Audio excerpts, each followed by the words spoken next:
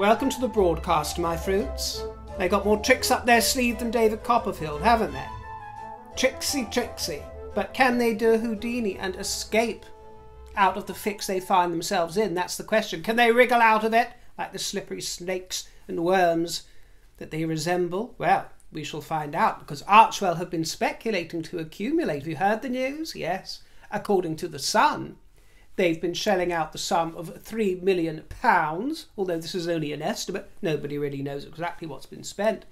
But it seems that Archewell have shelled out three million pounds to buy the rights to a novel, a romance novel, a very popular novel by all accounts. Have you read it? It's called Meet Me at the Lake by Carley Fortune. Just don't slip in. Carley Fortune, and they're hoping to drum up a fortune. They are speculating now. A few million could result in many, many, many millions if this project is a success. But can it be a success? Because this is Archewell we're talking about. Everything flops, doesn't it? You know what is a success in their world? That is when they put the royal family drama and the royal family name into their gobs. With the likes of Spare, with the likes of the Netflix documentary. Huge hits, smash hits. Oh, wow, wow, whoopie doo, congratulations. But that's not their talent, is it? Everything involving their talent, Pearl, Spotify, archetypes, that all meets a rather dodgy end, doesn't it? Or nobody watches. Like their other goings on on Netflix, nobody watches.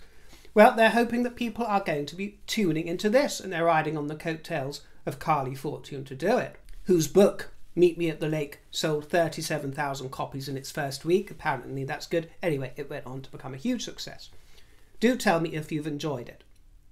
I hear good things. A romantic fiction based on two people. Now get this. It's based on two people who rekindle romance in their 30s and they describe the trauma faced by a character that lost a parent in a car crash. Ring any bells? As a child. Lost a parent in a car crash as a child. It covers themes that we all know and love so very well from Spare, such as alcohol and substances, the abuse of those things, mental health, postnatal depression. And guess where it's based? Guess where the scene is set? Toronto. yeah, Toronto, my dears, you couldn't make it up. And there's going to be a few steamy scenes as well, if it follows on from the novel. Fifty Shades of Harkles? the mind boggles. It is a make or break moment. Many in the industry have come forward to say that they don't understand why Archewell were given the rights to this for what is rumoured to be around £3 million because it could have gone for a lot more. It's a popular novel, and producers would have been falling over themselves to get the rights. Why was it granted to Archewell? We will look at that in a moment, but Archewell do not have the experience to make a success of this kind of popular novel. Maybe under the auspices of Ari Emanuel and William Morris Endeavour, they're taking better advice to come out with something that appears more quality. But William Morris Endeavour aren't supposed to be working in tandem with Archewell, only Meghan. So, how will their involvement and their mentorship help with this scheme? Because what we've been told is that a return to front of camera for the Duchess of Sussex is ruled out and that she is taking a, a role behind the scenes as an executive, the executive that she is. But it did cross my mind, I must confess, if she might be cast herself in the role. A thirty something thing, some sprightly so called ingenue, ten years past her sell by date, trotting around Toronto looking for romance with a traumatized young man, fragile, vulnerable. Perhaps my imagination is getting carried away with myself, we shall see. But wouldn't that be something if starring Meghan Sussex and a new billing? Who knows, she might rope Harry into play himself as well, although I doubt it. Even she knows that there are limits to what can be put on a huge screen that size and get away with it. Prince Harry isn't one of those things, one of those faces. This new brand of theirs is supposed to be a move away from their victimhood narrative. They shouldn't be wallowing in it, so I do not understand why this particular story has been chosen. But then one starts joining the dots, doesn't one? And who released this book? Random Penguins. Who released Spare? Random Penguins. When birds of a feather flock together, even if they are penguins, you come up with all kinds of huddles behind the scene, don't you? All kinds of huddles. Could there be some sort of connection to Carley Fortune? And Carley Fortune looks like a very nice gal. I am certainly not demonizing her for choosing to accept the offer from Archewell. She sounds like a very nice gal. But are there connections to Meghan Markle with this Canadian journalist? The two main characters in this novel are called, wait for it, well, the female lead goes under the name of Fern. Fern Brookbanks. Brookbanks. Well, of course, if you take the last letter, the last S, and place it in the middle, you get Brooksbank. Brooksbank. Does that ring any bells? Any royal bells? Yes. Our dear old friend, Jackie Brooksbank, husband of Her Royal Highness Princess Eugenie. Yes. From Brookbanks to Brooksbank. Quite the quiz, quite the anagram. Is, is Meghan setting her eyes on the fern, seeing as the pearl plummeted to the bottom of the ocean, never to be retrieved again? She sees herself as the fern tree of Toronto. Well, if she is placed in that starring role, then the male lead that she will be counterparting, the male of the piece, what's his name, the character? No, not Trevor, not even Henry or Harry or Harold, but Will. Yes, Will Baxter. Fern Brookbanks and Will Baxter are the names of the leads in this novel, which obviously excited something in their imagination. But production has stalled. Already, so we're told because of the screenwriters' strike in Hollywood, which has been going on for the past three months plus. It's stalled, so already there's some sort of spanner in the works, which is most unfortunate. But I did discover that there is a connection, however loose, between Carley Fortune, our erstwhile novel writer, and Meghan Markle. A small one, a loose connection, but a connection nevertheless. May the 19th, 2018. Carley Fortune, before her good fortune as a novel writer, wrote an article about Meghan Markle. Meghan Markle can't stop, won't stop with the messy bun, even for her wedding. Yes, she wrote an entire article about Meghan's messy bun. and I happened to be talking about my own messy bun recently, didn't I, in the last broadcast, and Meghan's. Coincidence. Well, you need to take a view. In journalism, if you're writing these kind of pieces, I suppose it could go under the umbrella of an opinion piece. You've got to take a view, so I don't blame her for doing that. But it's interesting because the tone of the article very much implies that Meghan's arrival on the scene is a breath of fresh air for the stuffy old royal family. And she is a refreshing change from the sort of uptight royal protocol which is and actually it is an invention of the press that they are quite so uptight about things and that they roam around with a checklist. You know her late majesty roaming around saying you know ooh no nail varnish stockings at the right height hair in the right place uh, you know nail polish the right color. Oh messy buns messy buns no messy buns you know cross them off the list. You know it's an invention of the press i'm afraid my dear. Yes there are advisors and those to guide and offer help if you need it, but everybody has their own autonomy. Aside from simple coordination, everybody has their own autonomy. If they want to wear messy buns or tidy buns, they can uh, hustle whichever kind of buns they want to, my love. Well, not according to Carley Fortune, who says that in a family where even nail polish colour is dictated by strict guidelines, it's refreshing to see a royal rule breaker. And Meghan's style choices have been said to ruffle regal feathers. Unlike Kate, actually, it wasn't her style that ruffled any feathers at all, my dear, it was her attitude, so shut up. Unlike Kate Middleton, who prefers a sleek chignon that's held meticulously in place with a hairnet, Meghan Markle loves a messy bun because despite the pearl clutching over her tousled updo, Meghan continues to ignore this royal fashion don't. And if you're curious about all this talk of Catherine in a hairnet, well, yes, it's true. Look at this, isn't it nice? I think it's wonderful to see that she employs old school techniques because they're practical and look good and look neat and it's simply practical. And I was also very delighted to see the tradition continuing with Lady Lou over the years.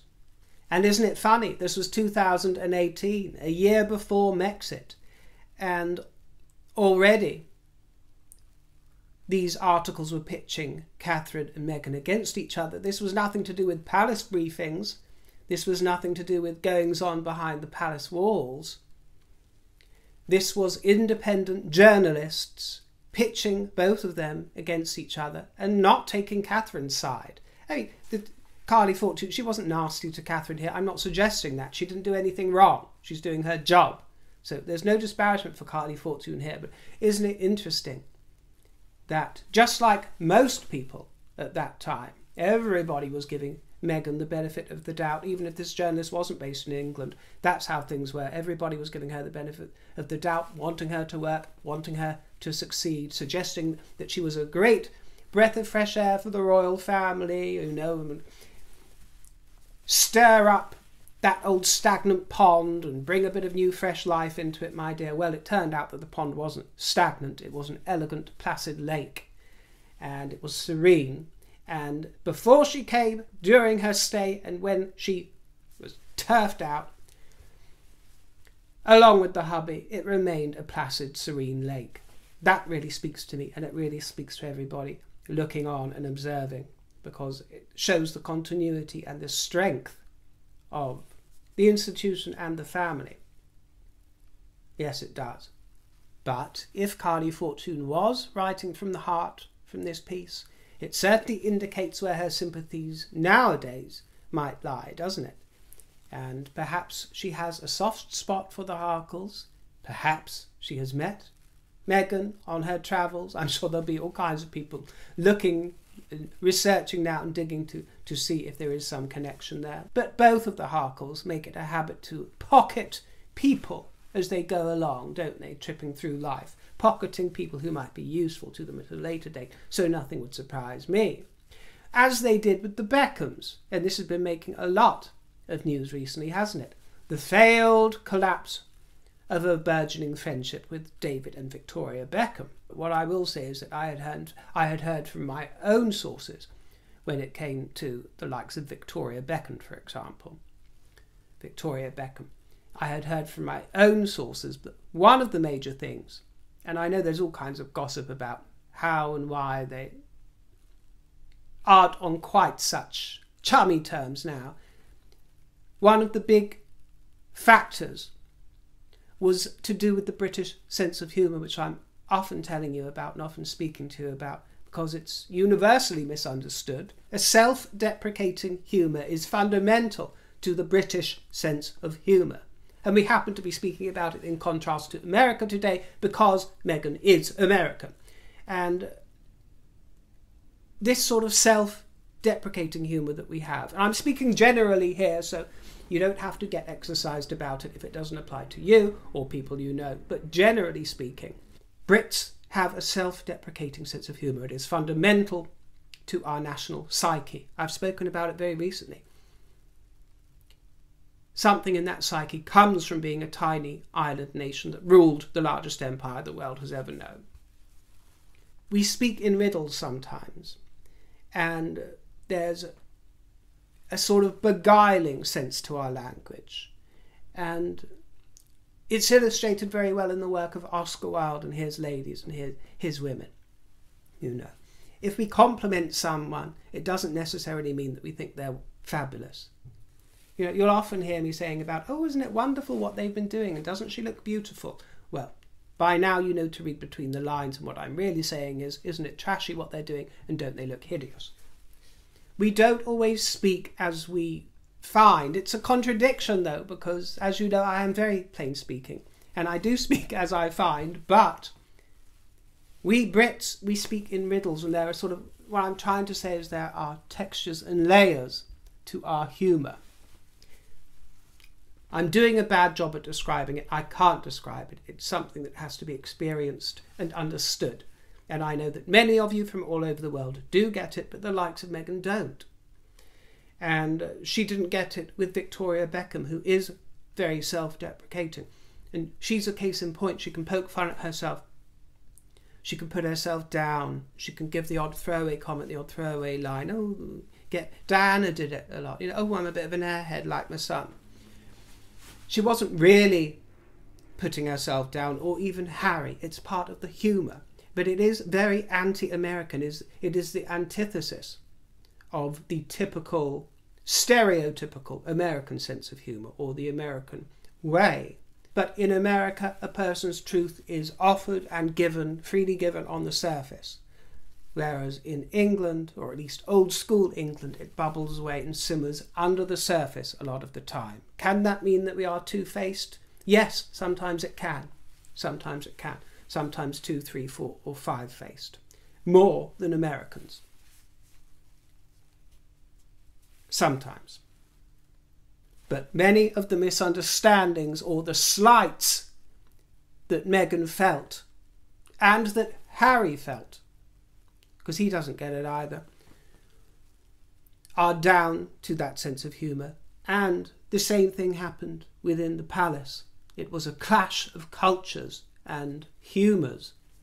There was also jealousy at play because the Beckhams adore Catherine and William and were cozying up to them at various events. David and Victoria are royalist at heart, they adore the royal family. The Beckham story in America, their story of success is very interesting. They've been a great success here and within Europe for many decades, but when it came to America, and David Beckham arrived there largely unknown in 2007 to promote the game of soccer, as it's called overseas. To us, it's plain old football. We don't call it soccer, but in America, it's known as soccer. You know, football is absolutely massive over here. I can't stand it, but you know, it's uh, it's our national sport. It's long associated with us, although we never seem to win, which makes me chuckle. But David Beckham is a huge star of that arena. And he has played the long game with football, and Victoria Beckham has played the long game with her fashion business.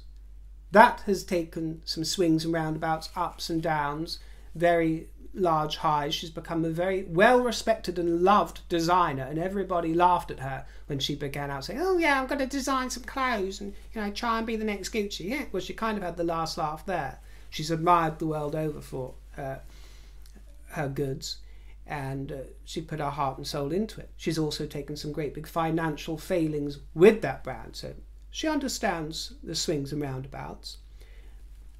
David's trajectory seems to have started off simmering away and gone up and up and up, culminating in just last week in Florida with a great success by Lionel Messi, who was signed up to a United States team Inter Miami by David Beckham, and it was a triumph for David Beckham, and it also boosted the profile of the club. This was a crowning moment for David Beckham in America after all those years slogging away because Inter Miami is co owned by David Beckham. And when he hosted the debut game, the debut match, just three years ago, it wasn't worth much. Now it is valued at $600 million.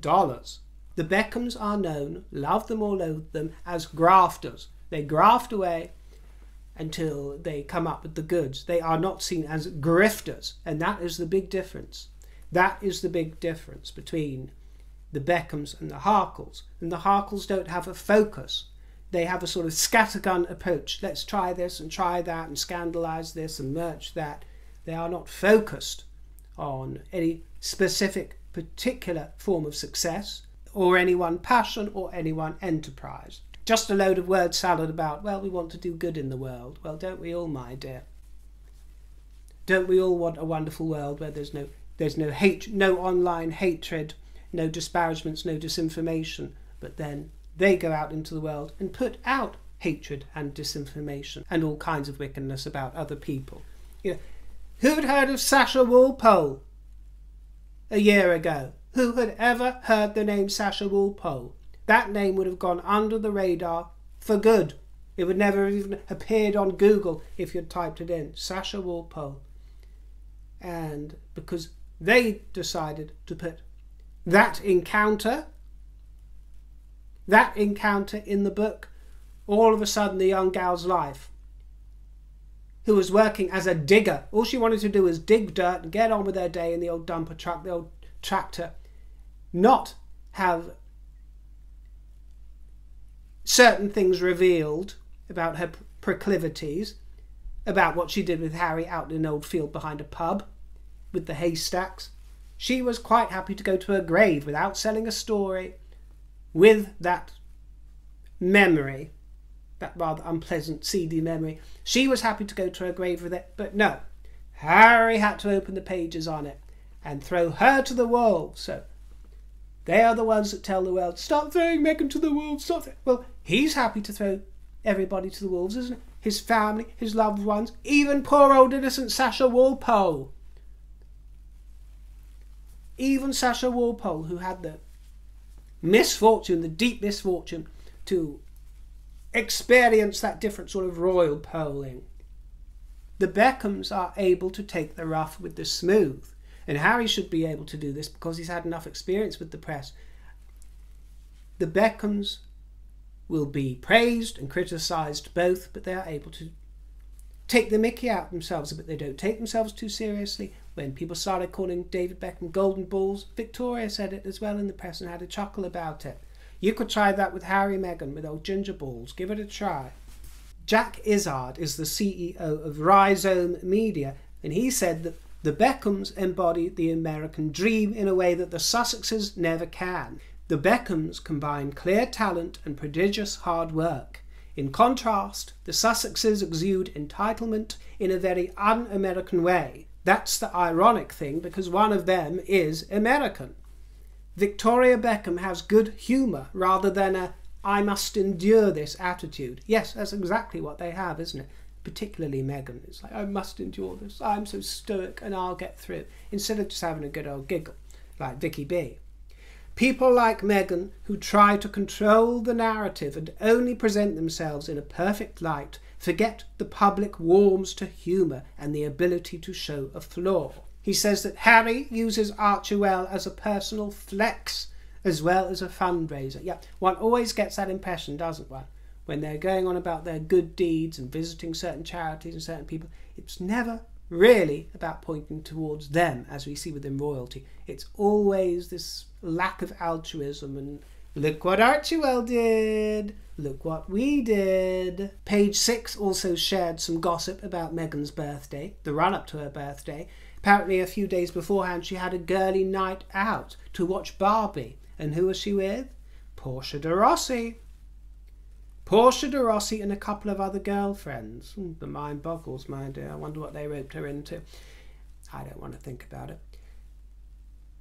Portia de Rossi and Barbie. What a combination. I told you I didn't want to go and see that movie. Harry stayed at home.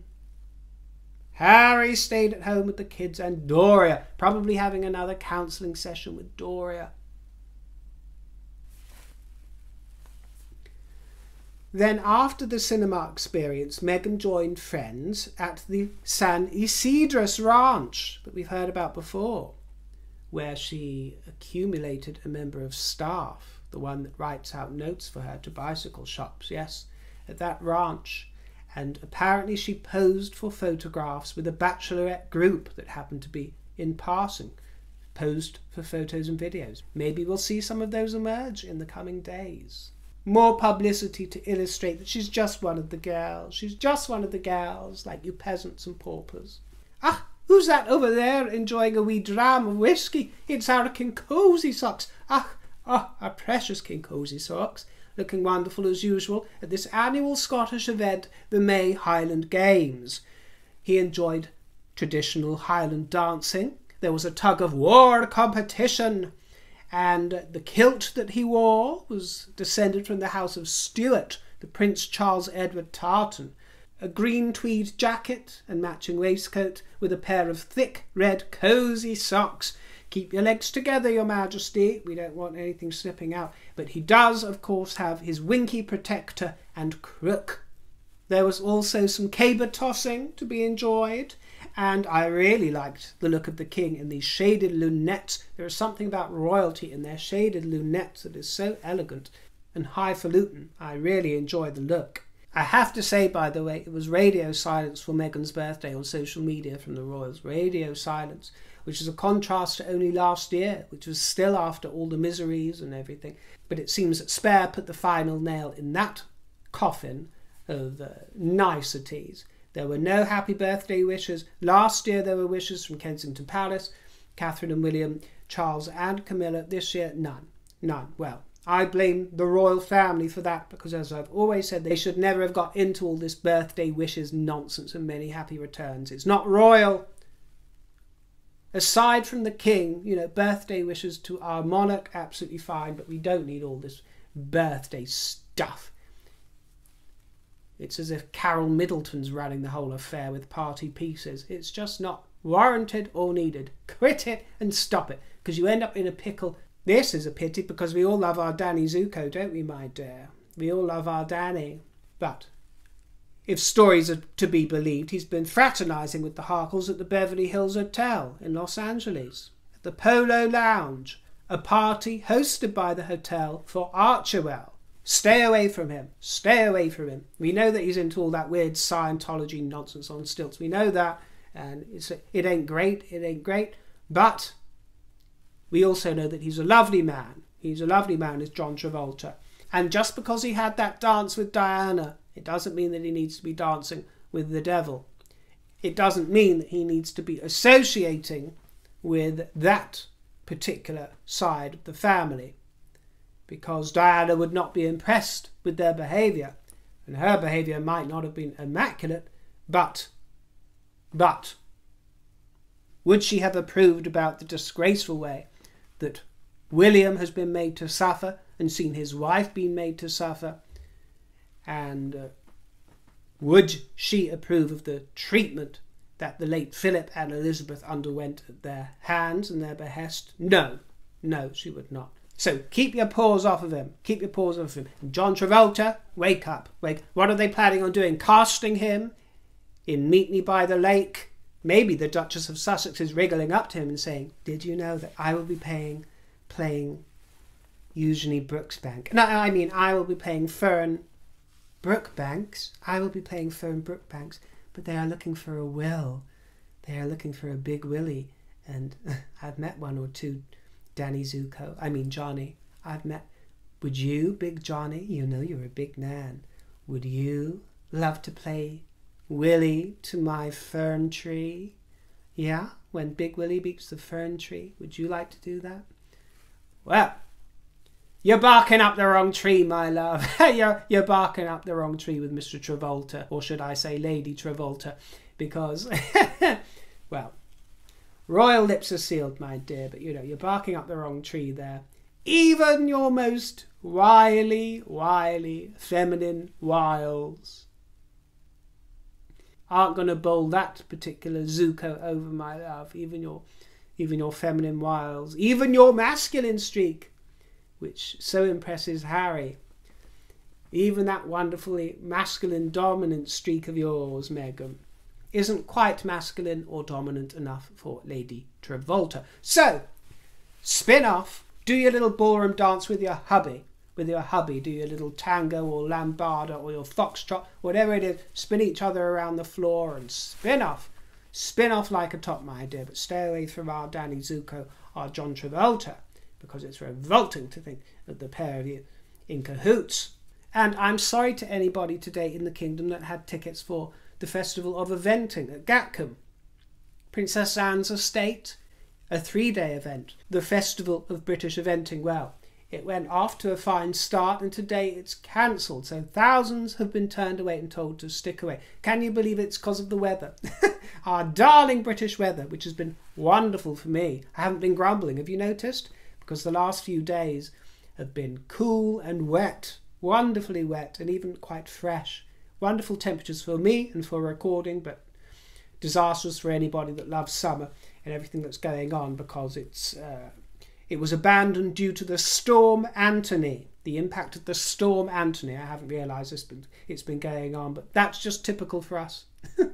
typical. You know, we had a month of very hot weather, and all of a sudden, in August, you have festivals being cancelled because of stormy weather and concerns for people's safety.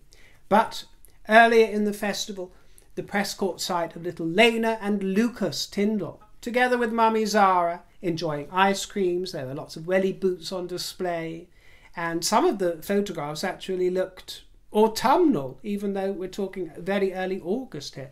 They looked autumnal. They had the spades out. They were getting to work. Actually, this one was uh, little Savannah Phillips. She got stuck into the shoveling there. And here's our very lucky Lindsay, lucky Lindsay Wallace there, the one that is romancing uh, our very dashing and very handsome Peter Phillips. Oh, lucky, lucky Lindsay. This is an annual event at Princess Anne's Gloucestershire estate, and there was trampolining, there was bouncing balls, and there were camouflage onesies being worn by the children. Zara was thrilled with her own performance at the competition there, and here she is after her jump with her wonderful beaming smile. And the festival encompasses all kinds of activities from dressage to show jumping and all that kind of thing, my dear. But sadly, that was all abandoned today, and sadly, it's time for me to abandon you and let you get on with your day, my dear. Thank you for joining me. I appreciate your company, and I look forward to reading your juicy comments. My tip jar is in the description box below if you'd like to treat me to a Sunday slice of cake. I'll see you next time, my dears. Stay fruity and on royal duty. Toodle pip.